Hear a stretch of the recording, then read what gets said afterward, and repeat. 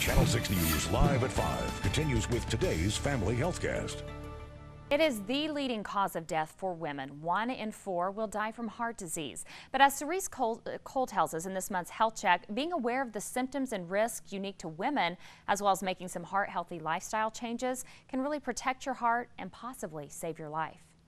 For weeks, Tammy Ruskamp had symptoms. I thought it was just a real bad case of heartburn. By the time she got to the ER, she was in pain, sweating, and had a heart attack.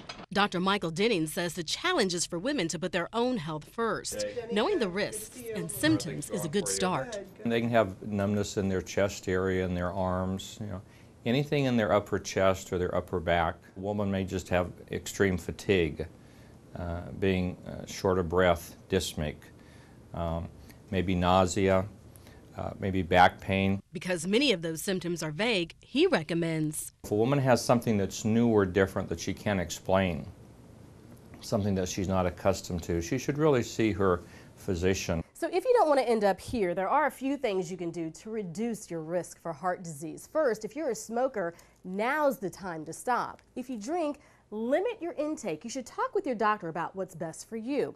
Also, it's a good idea to get on the scale every now and then to make sure you're maintaining a healthy weight. Really, it's made me take a look at what I can do from now on. Um, I have gotten on a regular exercise program. I really watch what I eat. I limit my sodium intake, limit my fat intake. Just what doctors want from all women to be aware and take charge of their heart health.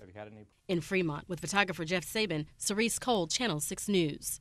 Some women are more at risk for heart disease than others. As women get older, especially after menopause, their risk increases. African American and Hispanic women also have a greater risk, along with women with a family history.